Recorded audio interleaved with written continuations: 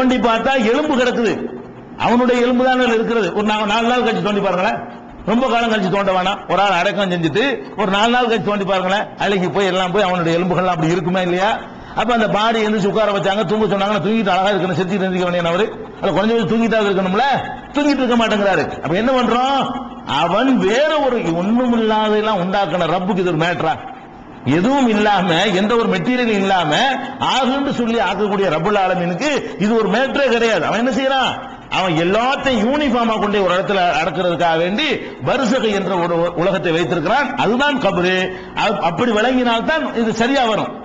இல்லைன்னா முஸ்லீமுக்கு மட்டும்தான் கபர் வேணும் மற்றவனுக்கு இல்லைன்னா இப்படி விளங்குற மறுத்தீர்களேயானால் இல்ல இல்ல அப்படிதான் அப்படிதான் கிடையாது. கபர் மண்ணுக்குள்ளதான் அப்படின்னு சொன்னீர்களேயானால் இருக்கிறது பெட்டராயிரும் ஏன் அதை தப்பிச்சுக்கலாம்ல அதாவது கபர் வேதனை அதுக்குள்ள இருக்குன்னு வச்சுக்கிட்டீங்கன்னா எரிச்சு சாம்பலாக்கணும் பாதுகாப்புல. கபர் வேதனை இல்லாம போயிருமே. அந்த ஒரு வேதனை தானே இருக்கு. அவன் எல்லாம் போய் சொல்லிட்டு போயிடலாமே அப்படி ஒரு அல்ல காப்பாத்தணும். அவங்களா அப்படி அப்படி கிடையாது. அப்ப நல்ல அந்த மூமியனுக்கு மட்டும் வேதனை கெட்டவனுக்கு வேதனை இல்லையாப்ப அந்த கணக்குல பாத்தீங்கன்னா எரிக்கிறவர்களுக்கு எந்த வேதனையும் இல்ல. ஆனா அவர் இஸ்லாத்தை ஏற்றுக்கொள்ளாதவர்கள் இஸ்லாமிய அடிப்படையில் வாழ்ற நமக்கு வேதனை அவனுக்கு வேதனை இல்லை. இது எப்படி? இப்படி இப்படி ஜட்ஜ்மெண்ட் இருக்காது. அப்ப இந்த கபரு எப்படி விளங்கிறதுனா ஒரு மனிதன் வந்து அடக்கம் செய்யற இடத்தை தான் அவன் பார்ப்பான். அதான் அவனுக்கு யாபத்தை உண்டாக்கும். அதான் மரண சிந்தனை உண்டாக்கும். அதுக்காக அது ஒரு சிம்பாலிக்காக செய்யப்படுது அந்த ஒரு அடையாளமா சொல்லப்படுது? வேதனை என்பது பரிசக்கு தான். புலனுக்கு தெரியாத ஒரு இடத்துல தான் விளங்கிட்டோம்னு சொன்னா இது சம்பந்தமான குழப்பங்கள் தீர்ந்துவிடும். இப்ப இந்த கபருடைய வேதனை பரிசகு. அந்த பரிசகுக்கு பரிசகுல நடக்குது வேதனைன்னு சொன்னதோட இதுக்கு மாற்றமா இன்னொரு செய்திகளும் வருது. அதுதான் இன்னைக்கு பார்க்க போறோம். என்ன செய்தின்னு கேட்டா ஒரு மனிதனுடைய ரூகை கைப்பற்றுறாங்க. மாணவர்கள். கைப்பற்றின உடனே ரெண்டு இதா இதா கரஜத்து ரூகுல் மூமினி. மூமினுடைய ரூக வெளியே வந்த உடனே தலக்காக மலக்கானி இரண்டு வானவர்கள் அப்படி கையில் எடுத்துக்கொள்வார்கள். ஒரு உயிர் வந்த உடனே ரெண்டு வானவர்களை அதை எடுத்து செல்வ அது ஒரு மெட்டீரியல் மாதிரி தான். நமக்கு தெரியல அந்த உயிருங்கிறது நமக்கு தெரியாத ஒரு பொருளா இருக்கிறதுனால இல்லையமா நினைக்கிறோம். ஆனால் உண்மையில் என்னது? அது ஒரு பொருள் மாதிரி அது வெளியே தான் வருது. வந்தவுடனே வானவர்கள் எடுத்துக்கொள்கிறார்கள். எடுத்துக்கொண்டு அதை மேலேறி செல்கிறார்கள். அல்லாட்ட கொண்டு போறாங்க. இந்த உயிரை கைப்பற்றின உயிரை மேலே கொண்டு போறாங்க. அப்படி கொண்டு போகும்போது நல்லவருடைய உயிராக இருந்தால் அது கஸ்தூரி மனம் கமழ்வதாக இருக்கும் அந்த உயிர். இந்த உயிரில் இருந்து கஸ்தூரி உடல் தான் நாடி போகும். உயிர் வந்து கஸ்தூரி மனம் கமலக்கூடிய விதத்தில் இருக்கும். எங்க கொண்டு போறாங்க? வானுலகத்தை கொண்டு போறாங்க. வானுலகத்துக்கு கொண்டு போட உடனே வானத்தில் உள்ளவர்கள் எல்லாம் எப்பூல் அகலு சமா. வானத்தில் உள்ளவங்க அத வானத்தில் உள்ளவர்கள் வானவர்கள். வானவர்கள் சொல்வார்கள் ரூஹுன் தையபத்துன். நல்ல தூய்மையான ஒரு உயிர் வந்திருக்கிறது. மின் கபிலில் அருளி பூமியில் இருந்து தூய்மையான ஒரு உயிர் ஒன்று வந்திருக்கிறதுன்னு சொல்லிட்டு சல்லல்லாஹு அழைக்க அலா ஜசதின் குந்த தாமுரினகு உனக்கும் குந்தி தாமுரினகு உனக்கும் அல்லாவுடைய அருள் கிடைக்கட்டும். நீ எந்த உடலில் இருந்து பயன்பட்டாயோ அந்த உடலுக்கும் அல்லாஹ்வுடைய அருள் கிடைக்கட்டும் அப்படின்னு சொல்லி அவங்க வந்து வாழ்த்து செய்வாங்க. வாழ்த்து சொல்லுவாங்களாம். வாழ்த்து சொன்ன உடனே எந்தலி குபிஹீலா ரப்பிஹி அஸ் வஜல். அல்லாஹ் அப்படி வானத்தை கடந்து அல்லா இடத்துல கொண்டு ஒப்படைக்கப்படும். எந்த உயிரும் படைச்சவன்ட்ட போயிரு. எந்த உயிரா இருந்தாலும் இந்த கபருக்குள்ள போகுதுன்னு பார்த்தோம். இப்ப எங்க வருது? எல்லா உயிரும் மேல் உலகத்துக்கு கொண்டு செல்லப்பட்டு எங்க கொண்டு போனேன் வானத்தையெல்லாம் தாண்டி போய் வானவர்கள் வாழ்த்து சொன்ன உடனே அல்லாவுக்கு முன்னாடி போய் கொண்டு போகப்படும். கொண்டு போன அல்லாஹ் என்ன செய்வான்னு கேட்டா நீங்கள் திரும்ப எடுத்து சென்று விடுங்கள். எது வரைக்கும் எடுத்து சென்று விடுங்கள்? இன்தலை கூபிகி இல்ல ஆகிரில் அஜல். உலகம் அழிகிற வரைக்கும் இதை வெளியே கொண்டு போய் இங்கே வரக்கூடாது. இப்போ வரக்கூடாது. நம்மள்ட்ட வரது கூட நேரம் வேற இருக்கு. முதல்ல அட்டன் பண்ணிட்டு வெளியே அனுப்பிடுவான் அல்ல அந்த உயிர்கள் போய் அல்லாட்ட அட்டன் பண்ணிட்டு வெளியே அனுப்பி விட்டுருவான். அப்படின்னு இருக்கிறது. கெட்ட உயிராக இருக்குமே ஆனால் அதையும் எடுத்துக்கொண்டு போவார்கள். போனவன அது நாற்றமா இருக்கும். கெட்ட உயிர் வந்திருக்குன்னு மாணவர்கள்லாம் பேசுவாங்க. அல்லாட்ட கொண்டு போவார்கள். இதை கொண்டு போய் உலகம் அழிகிற வரைக்கும் கொண்டு விட்டுருங்கன்னு சொல்லி அல்லாஹ் சொல்லுவான் என்று முஸ்லீம்ல ஐயாயிரத்தி நூத்தி பத்தொன்பதாவது ஹதீசில் இருக்கிறது. இதே கருத்து வந்து நசையில ஆயிரத்தி எட்நூத்தி பத்தாவது ஹதீசில் இருக்கிறது. அப்ப உயிர் எடுக்கப்பட்ட உயிர் வந்து கபருக்கு போகாம எங்க போகுது? அல்லாஹ் போகுதுங்கிற மாதிரி கருத்து வருது. கபர் இல்லைங்கிற மாதிரி விளங்குது. அதே மாதிரி வந்து நசையில ரெண்டாயிரத்தி நாற்பத்தி ஆறாவது ஹரிசில் என்ன இருக்குன்னு கேட்டா இன்னமா நசமத்துல் மூமினி தாயிருன் பி சஜரில் ஜன்னா ஹத்தா யபாதுல்லாஹு அஸ்ஸ இலா ஜசதிகி யௌமல் கியாமா.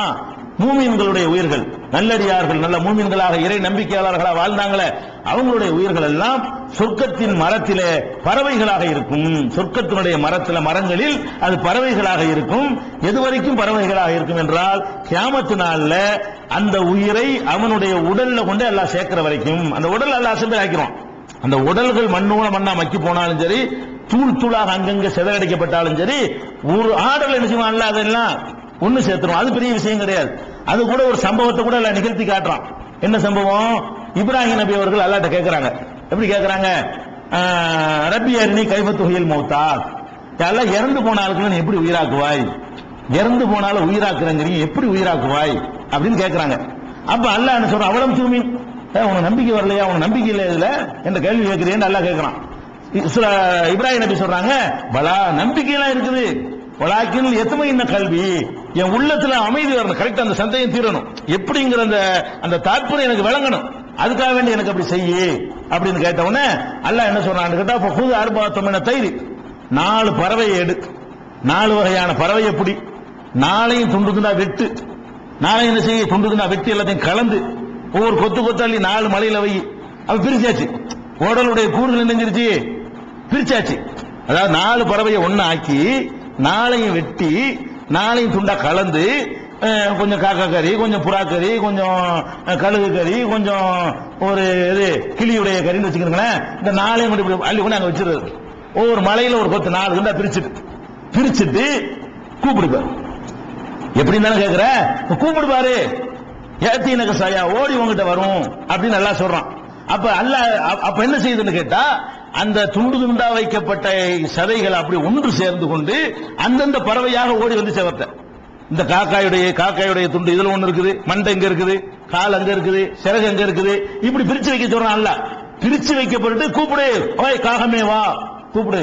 எப்படி வருதுன்னு பாரு. அத வந்து செயல்முறை அவர் காட்டிவிட்டான் அல்ல நம்ம பார்க்கல. இப்ராஹிம் பார்த்து விட்டார். அல்ல எப்படி உயிராக்குறாண்டு அதே மாதிரி நம்முடைய உடல்கள் மக்கி மண்ணா போனால் அந்த செல்கள்லாம் அந்த மண்ணுக்குள்ளதான் இருக்கிறது. எந்தெந்த துகள்கள் எந்தெந்த சாம்பல் எங்க கலைக்கப்பட்டாலும் சரி தா இப்ராஹிம் வந்துடுறான்னு வந்துடும். உனக்குதா இப்ராஹிம் நல்லா கூப்பிட்டான்னு வைங்களேன். இப்ராஹிமுடைய சாம்பல் எங்க? சாம்பல் இருக்காது ராமசாமி வச்சுக்கிறோம். ராமசாமி எந்திரிச்சு நல்லா சொன்னான்னு சொன்னா ராமசாமி சாம்பல் எங்கெங்கெல்லாம் இருக்கிறதோ அது கூட சரசரசம்னு சேர்ந்து ஒண்ணா வந்து அப்படி ஆகி அதுக்குள்ள அந்த உயிரை விட்டுருவான்ல. வணங்குதா இப்படித்தான் ஆக்க செஞ்சு காட்டிருக்கணும் ரெண்டாவது சூறாவுல இருநூத்தி அறுபது அறுபதாவது வசனத்துல இப்ராஹிம் நபிக்கு செயல்முறை விளக்கமாக எல்லாம் செஞ்சு காட்டுறான். அவனே இந்த துண்டு துண்டா ஆக்குறது ஆல்ரெடி விளக்கம் சொல்லிவிட்டான். நம்ம கேட்கறோம்ல புலி தின்றுச்சு சிங்கம் தின்றுச்சு அவங்க எதுனா என்ன ஆகுறது? எப்படி எழுப்புறன்னு கேக்குறீங்கல்ல அதுதான் அவர் ஒழிச்சு சொல்றான்ல. நாலா பிரிச்சு நாலு இடத்துல வைக்க விட்டாங்களே நாலா பிரிச்சு அறுத்து நாலு இடத்துல கொண்டு போட்டு ஒன்னாய் காட்டுறேன் பாருங்கிறான்ல அப்ப நீங்க எத்தனை இடத்துல நீங்கள் செதறடிச்சாலும் சரி ஒரு ஆர்டரில் அவன் ஒன்று சேர்த்துட முடியும். ஒரு கட்டளை இடுவான். சேர்க்கிறான் கண்ணுக்கு முன்னாடி பாக்குறாங்க மேகத்தை. எங்கெங்க உள்ள தண்ணியை எடுத்துட்டு போகுது? ஒரே ஒரு ஆர்டர் தான் பண்றான். மெட்ராஸ்ல கொட்டி போகுதுல மெட்ராஸ்ல பெய்யற தண்ணி வந்து மெட்ராஸ் கடல்ல எடுத்த தண்ணியா? மெட்ராஸுக்கு நேரம் உள்ள மேகம் கொட்டுற தண்ணி இருக்குதே? உங்க ஊர் கடல்ல எடுத்துட்டு போன தண்ணியா? இல்ல. எங்கெங்கயோ உள்ள தண்ணியை சேர்த்து அப்படி வந்துட்டே இருக்குது. ஊர் ஆர்டர் பண்ணாடா ஒடியாங்கிறான்ல. அங்க உள்ளமே அங்க உள்ளமே. அப்படி சர்வம் பொறுப்பு கொட்டி போடுதுல. இப்படி சே- சேர்க்கிற ரப்புல்ல ஆலமீனுக்கு உன் துகள்களையும் உன் செல்களையும் சேர்க்க முடியாதா? அப்படி சேர்த்து போடுவான். அப்ப இந்த அதே உடல் திருப்பி உண்டாக்குவான் இல்ல இந்த உடலை தான் உண்டாக்குவான். ஆனா கபருங்கிறது வேற பரிசு காண ஒரு உலகத்தில் நடக்கிறது. அந்த உலகத்தில் கூட அல்ல அந்த உடல் அசம்பிள் ஆக்கியிருக்கான். அந்த உலகத்தில் கூட என்ன செய்யலாம் அந்த உடல் அசம்பிள். ஆனா இதுக்குள்ளே விளங்கக்கூடாது. அப்பதான் எல்லாருக்கும் கபர் வேதனை வரும். அப்ப இதுல என்ன வருதுன்னு கேட்டா நசையில வரக்கூடியது மூமியினுடைய உயிர் வந்து சொர்க்கத்து மரத்தில் இருக்கிறது. எது வரைக்கும் அங்கே இருக்குமா? கியாமத்து நாள்ல அந்த உடலுக்கு கொடுக்குற வரைக்கும்னா இப்ப கபர் எங்க இருக்கு? இப்ப பாயிண்ட் வழங்குது உங்களுக்கு? மூமியினுடைய உயிர் எங்க இருக்கான் சொர்க்கத்தில் ஒரு மரம் இருக்குது. அந்த மரத்துல பறவை மாதிரி அது அங்க வந்து தங்கி இருக்கும் எது வரைக்கும் அங்கேயும் இருக்குமா? எது வரைக்கும் இருக்கும்னு கேட்டா ஹத்தா எபாதுல்லாஹு அசவஜல்ல இலா ஜசதிஹி யௌமுல் கியாமா. கியாமத்து நாள்ல அந்த உயிரை உடலுக்கு கொண்டு வந்து அல்லாஹ் செலுத்துகிற வரைக்கும் அது அங்கே தான் இருக்கும். இதே கருத்துப்பட முசனதா இது நசையில ரெண்டாயிரத்தி நாற்பத்தி ஆறு முஸ்னத் அகமதுல பதினஞ்சாயிரத்தி இருநூத்தி பதினாறு இது அதே மாதிரி இந்த ரெண்டு அதிசயம் இருக்கிறது அப்ப இதுல என்ன வழங்குது? கபூர்லயும் இருக்கிறான்னு வருது. இல்ல. கபூர்ல இல்ல. எங்க இருக்கு? சொர்க்கத்துல மூமின்கள் சொர்க்கத்துல தான் மரத்துல மரத்துல தொங்கிக்கிட்டு இருக்கிறாங்க அப்படின்னு வருது. இப்ப இது ஒரு முரண். இதை வச்சு தான் இப்ப கன்ஃபியூஸ் பண்ணுது? இதான் கன்ஃபியூஸ் பண்ணும். மத்த எல்லாம் குழப்பம் கிடையாது. கபூர் வேதனை இருக்கு வாஸ்தவம்? அதையும் நம்ம நம்புகிறோம். இதையும் நம்பணும். ரெண்டையும் நம்ப இயலுமா? அதாவது கபூர்ல இருக்குங்கிறே நம்பணும். இல்ல இல்லை. மரத்தில் இருக்கு நம்ப நம்ப இயலுமா? ரெண்டு முரண் தானே? ஆனால் முரணில் நம்ப வேண்டிய விதத்தில் நம்பினால் ரெண்டு முரண் இல்லை. எப்படி என்று சார் நாளைக்கு பார்க்கலாம். இஸ்லாமில்